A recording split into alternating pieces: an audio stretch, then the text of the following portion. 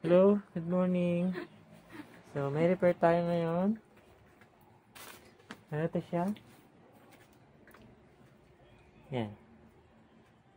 Ah, galing to ng Pasig City. Yung nakalagay. So, check natin siya. Baligtad yung camera kasi nakaharap. So, baligtarin ko lang. Ala. Ayan. So, yung gagawin natin ay uh, GeForce RTX Asus 11 gig. Ayan, Asus Aura Synchronize OC 11 gig. From Pasig City. So, hindi ko alam kung ito yung laman. So, hindi ko pa siya nabubuksan. So, diniliver kasi ito ng isang araw. Dahil may ginawa rin tayong isa. Buksan natin para sure sa ating makita. Ayan.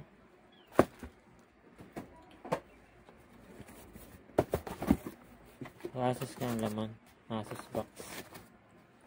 Ayan. Medyo malaki nga siya.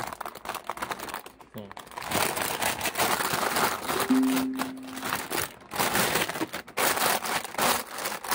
Ayan siya. Medyo big. Ayan. So, re-repair natin yan. Testing muna natin kung anong problema. Kung shorted.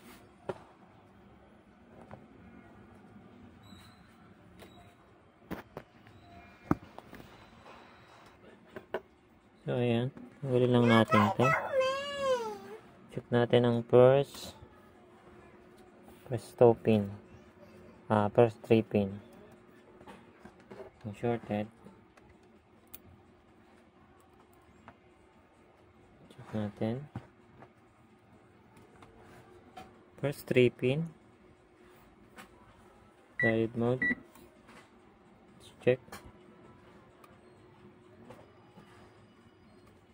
Eh, ano ba yan? Wala pa pala tayong ground. Sorry. Yan, first three pin. Tayaw. So, open. Ayaw talaga. Wala, ayaw. Magat ah. Wala na naman ang tester.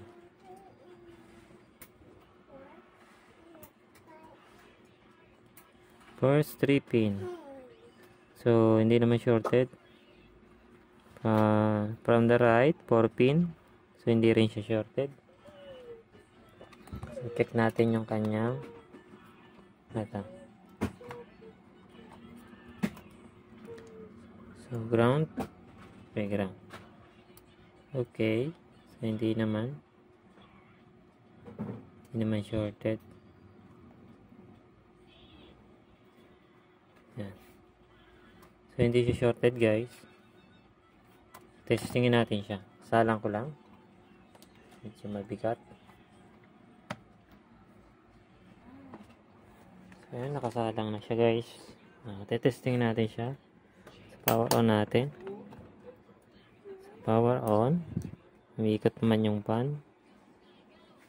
Tingnan natin kung magkakaroon siya ng display. So, may display siya.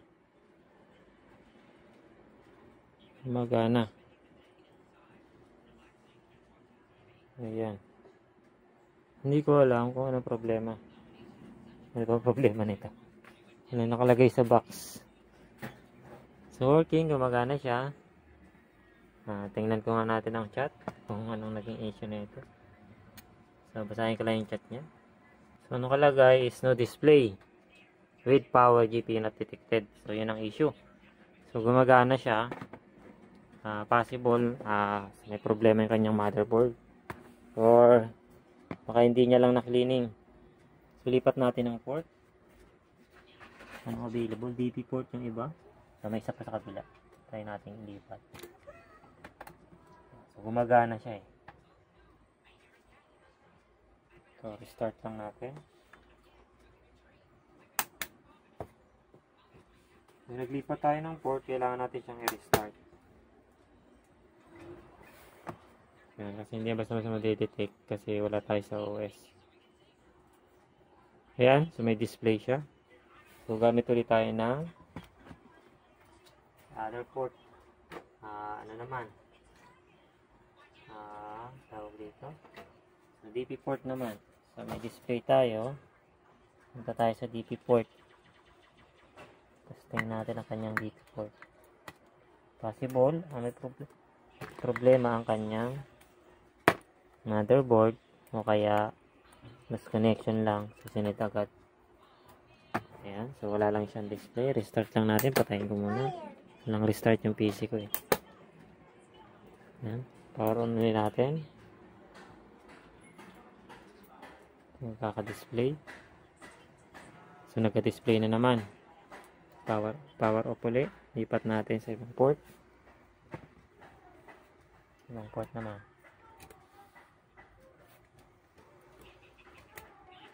Ayan.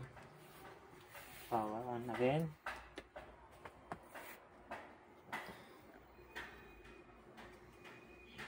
Yan, gumagana.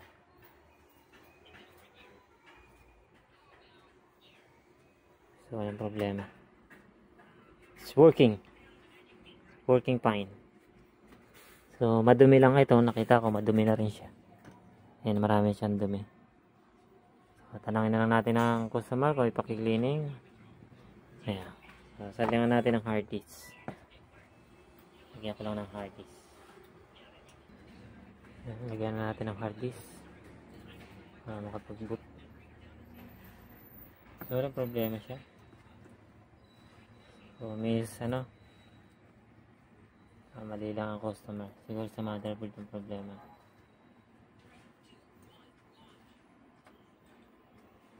Install natin yung driver pala. Baka naman pag naka-install yung driver. Baka may problema sa VRAM niya. So, bago natin siya desisyonan. Kasi nakalagay dito yung no display but with power GPU not detected. So, make sure natin. Lagay natin ang driver. Kasi hindi pa detected yung driver natin. Ah, yun, issue. Ayan. Tapos tara natin yung yung van, tapos namamatay. Yan, patay na. Wala na siyang display. Yan ang issue niya. Okay. Patay. Wala ang display. So, ayan. Proceed tayo. Excuse me. So, na-chat na natin yung customer. So, namamatay nga siya after pag ina natin, binooster natin. So, upon checking, so nakita natin ah, may water, ah, may damage dito, water damage. Ayun. So, na-chat ko na yung customer, sabi ko water, may water damage siya. Possible kaya namamatay. Then, kulang siya ng tornilyo. 8 pieces. So, casing. So, na-update na natin yung ating customer. Then, ngayon, Ah, ito na lang daw yung gagamitin kasi dati daw ito naka water block. Uh, water cooler. So ngayon ito na lang yung gagamitin daw na heat sink. Siguro binenta na yung ano. Ayan. So ang gagawin natin dito, uh, estimated, magpapalit tayo ng thermal pad at saka uh, Nabuha ko ah. Sorry. So, tanggalin ko lang ito, itong back case na to, itong metal case na to.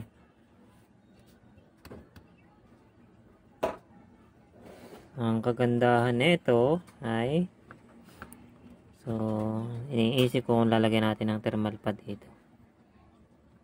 Kasi hindi naman siya design doon para sa ano. Kasi magta-transfer din yung heat ng kanyang ng kanyang ano eh, GPU yung galing dito kasi ta-transfer kung ta-transfer dito. Depende naman kasi. Yung iba kasi video card uh, nakadikit na rin dito yung ano eh.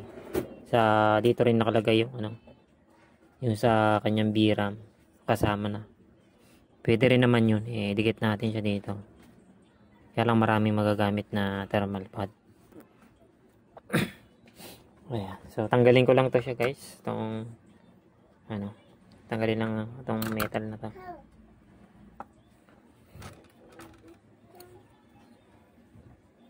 So nilagay na pala niya ng thermal pad. So ang ginamit dito siguro niya ay uh, 1 mm. I think 1 mm to. 1 mm thickness.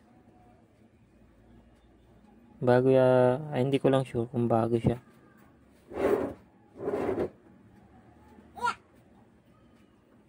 So madumi rin siya oh. Hindi siya nilinis.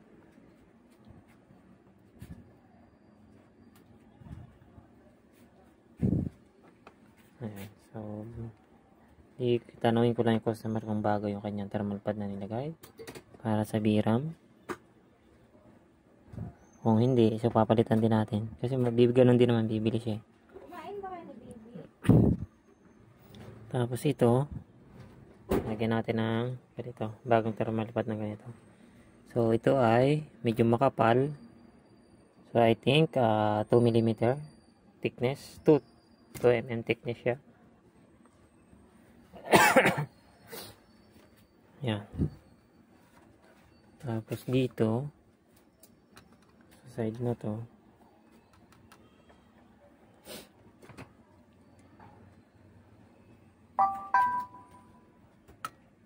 Hmm? Ah, yun. So, manipis lang yung ginamit niya dito. Hindi niya nilagyan lahat. Okay, tama naman. So, mayroon lang kasi ah, ito. So, hindi na ito kasi butas. Baliktad pa lang position natin ng Yeah, ganito pala ang position ng kanyang heatsink. Tapos nga natin yung camera para kita.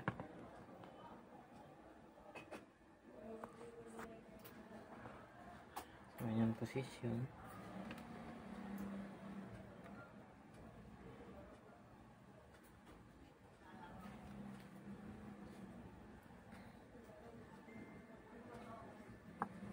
Pwede din ito palapatin dito yung heatsink. Ito. Pero sa biram, sapat na kasi ito sa biram. Itong ano na to. Itong metal case.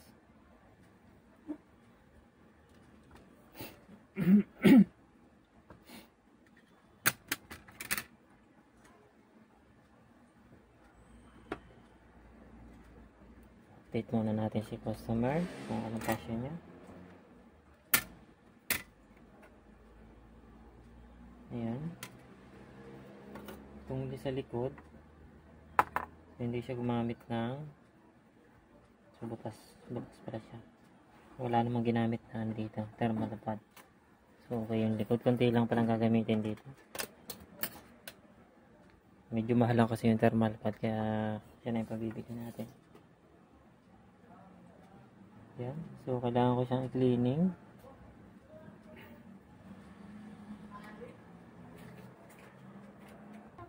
So, ayan guys, ito yung napakita ko sa inyo. O, ayan. Ayan yung may damage. Napansin nyo yan, no?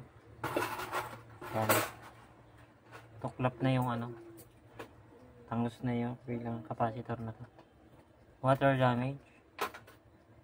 Ayan. So, di-cleaning lang natin yan. Then, check natin kung okay na siya. Wala naman siya sunog. Wala naman ako nakitang sunog. Bukas naman ulit ha. So, cleaning lang natin. Bago i-test.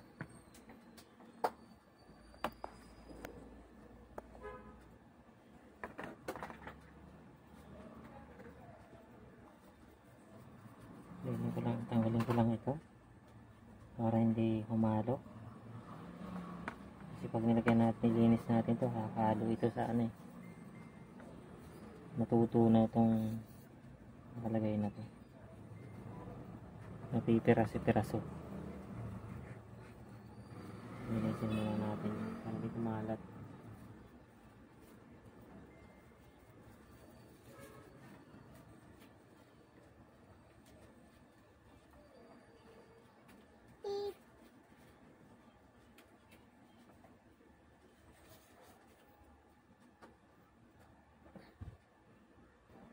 Cleaning ko lang yan.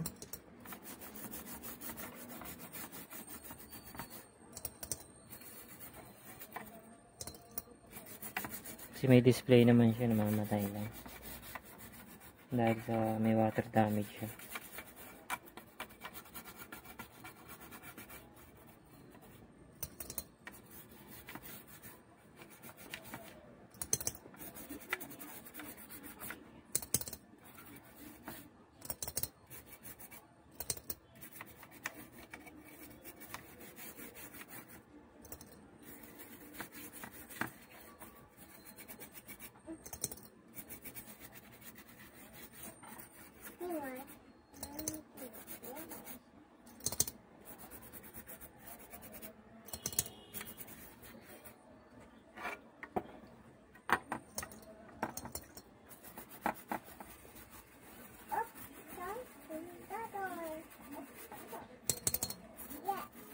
So, ibig sabihin ito ay ah, pangatlo kong repair na ang problema ay namamatay dahil lang sa ah, mga issue na yung issue ng mga kulang sa thermal pad, thermal paste, then yun, pangatlo ito sa repair kung ganun ang issue lang. Yung na-repair ko na dalawa, okay na. So, tested na ng customer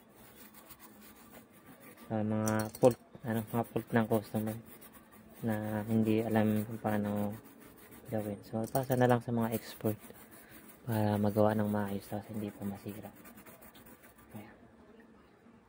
so antayin ko lang yung matuyo. Then i-check natin. Is- uh, visual inspection natin mamaya after matuyo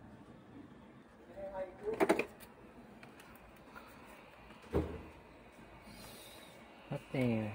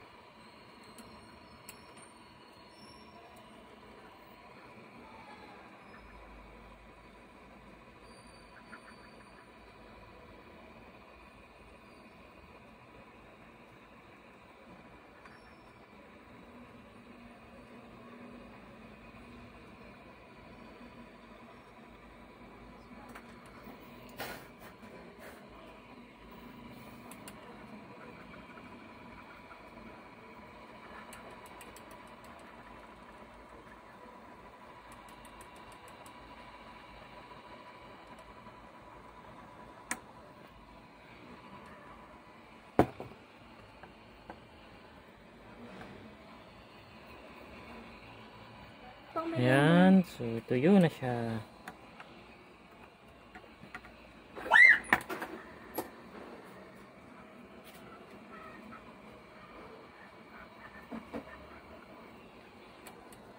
Yan lang natin siya matuyo sa kanyang sarili para yung mga butas-butas na tagusan papunta sa kabilang board ay matuyo. So hindi natin siya kailangan palamigin using air. Hayaan natin matuyo yung mga existing na ah, mga basa niya. Dahil mainit naman yung board na yan, matutuyo yan. So, lang natin siya kahit konti. Mabilis naman yan matuyo kasi lacquer blue yan. Ayan. Antayin lang natin siya hanggang sa lumamig.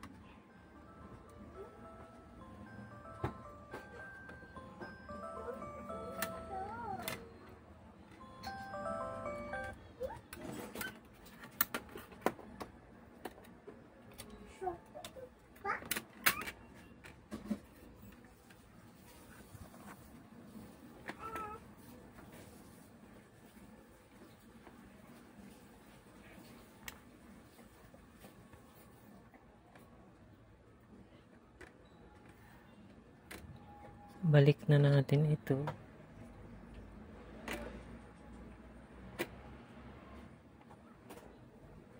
Tapos sa testing natin. Kulang lang ang tornilyo nito. So nalagyan ko na lang. May tornilyo naman dito. Baka natin makahanap dito mga pwede so yan na-place ko na yung tornilyo so meron naman ako dito mga tornilyo na pang ano lunar. Testing na natin eh, kakabit na natin yung heatsink. So, lalapatan natin siya ng thermal paste. Okay, lagyan natin. Sa gitna lang.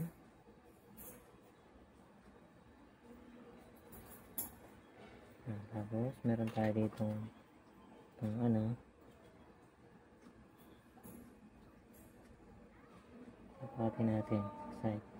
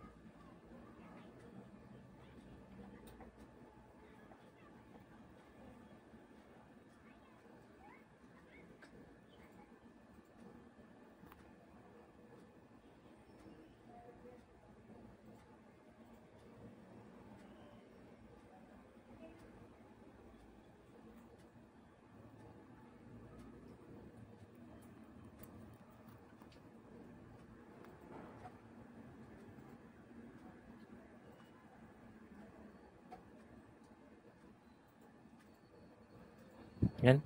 Ganda.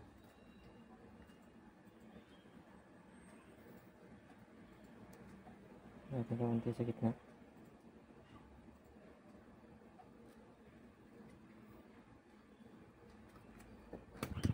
Look. Ups. Ayan. So, pantay na yan. Lagyan natin yung heatsink.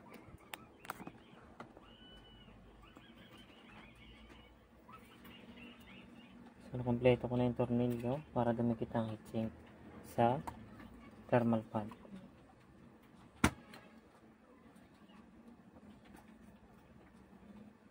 Na natin yung pan.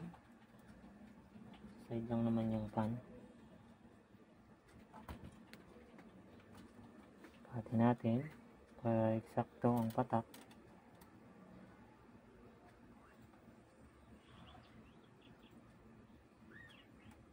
Yan.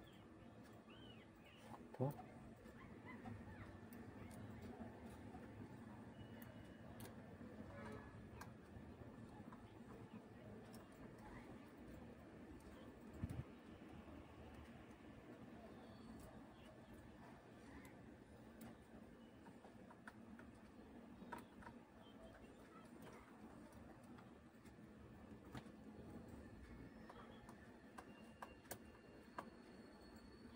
Yan. So, kumplituhin ko lang yung tornilyo. Ayan. Ilagay na natin ang maayos. Ilagay na lang natin to.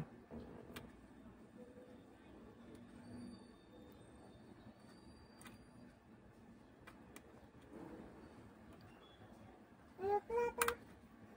Yan. Salang ko na. Ayan. Set up na. Power on. Natin doon.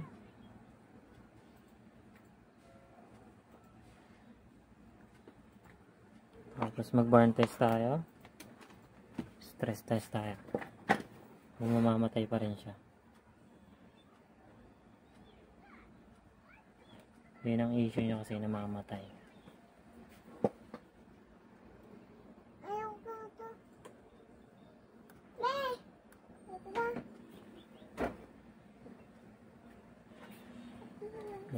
Burn test siya, namamatay siya.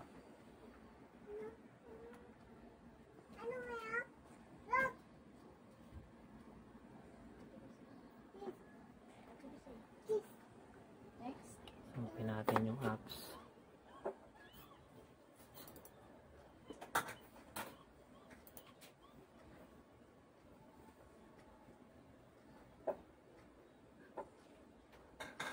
Yun yung ating stress test application.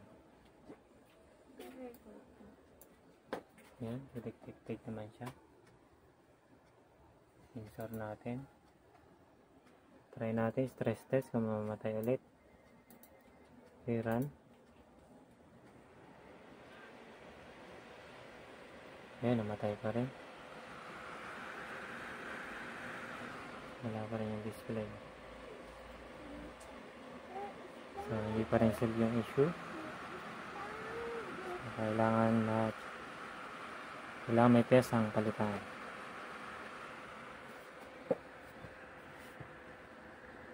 Okay, log ulit.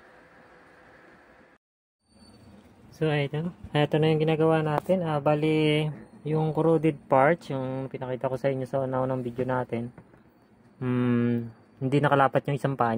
Bali, sa ano siya eh, papuntang capacitor.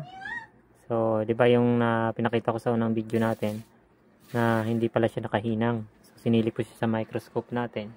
Din hininang ko siya. Ngayon, tinitesting na natin siya. Ah, ito na siya. So, ilang minutes na ba tayo nag-games? Ayan, so 33 minutes na tayo naglalaro. Hindi pa rin siya namamatay. So, okay na siya. Working na. So, nilagyan ko ng power supply na extra. Kasi may sariling power supply. Mahina kasi ang power supply natin.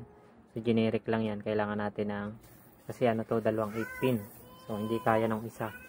Ah, nawawala yung display. Kapag ano, nagpuputi lang siya. So, kailangan na, kailangan natin ng extra power supply para sa 8 pin. Kasi 12 volts para dito, 12 volts para dito, dalawang 8 pin. So, ayan siya, nasa gaming mode ako. Yan. So, 34 minutes na siya, hindi pa siya namamatay. Yan. Ang temperature natin, ayan. So, sa ating ayan. So, hininang lang natin yung ano, yung isang paa lang naman yung hindi nakalapat na walang hinang. So, hininang natin papunta ng capacitor. Yung kanina pinakita ko sa inyo sa microscope. Ayan. So, yun lang yung naging issue niya. Kaya hindi siya ah, namamatay siya pag ano, pag ginagamit sa games. Ayan. Kaya siya nag, nag-shutdown. Nawa, nawawala yung display. Kasi ang function kasi nun is papunta siya ng display. So, may display siya pero ah, tag dito, Ah, hindi naman siya naghahang sa keyboard. May ilaw pa rin siya. Yung naging issue kanina, wawala lang yung display. So, yun yung para sa display. Eh. Galing GPU. Ayan. So, okay na siya. Mag 35 minutes na. So, ah, try ko pa maglaro. Ah, subukan ko 1 hour. So, okay na siya. Super. Working. Good na siya. Ayan. So, may light siya. So, Asus. Ayan. So, HDMI yung ginagamit natin. Ayan. Okay na. Back to games na ulit ako. Then, sasend na natin to sa customer. Sabi ko sa kanya, try ko na after 30 minutes. So, okay na siya. Working na, gumagana ng maayos. Send na lang natin sa punta ng customer. So, ayan po ang kanyang specs. It's working fine na. Ayan. So, hanggang dito na lang ating pagre-repair, yung ating video, yung video kong ginawa sa pagre-repair nito. Habang oras na yung aking nagagamit, so tapos na yung aking job. So, na-cleaning ko na siya, nalagyan ko ng thermal paste. So, nasa-ayos ko na siya. Na-remove na natin yung corroded parts na nagkukos ng shutdown. Naikabit na natin yung isang paa, yung ating MOSFET na malaki. Malaki kasi yung MOSFET eh. Siguro mayroon siyang 8 pin side by side. So, yun lang. Isang pin lang yung nawala sa kanya na hindi nakalapat. Nakalapat yung pin niya. Pero kapag uminit, para siyang umaangat ba? Kaya siya, kaya siguro siya namamatay. Yun yung isang possibility. Ngayon, nung mahinang natin siya, nag-okay na siya. Ayan na siya. Tumagal na siya ng 30 minuto. Ayan. Kaya, super good na yan. So, send ko na ito papunta ng ah, I think sa ano to? Pasig. Oo, Pasig City nga ang may-ari. So, send na natin ito pabalik.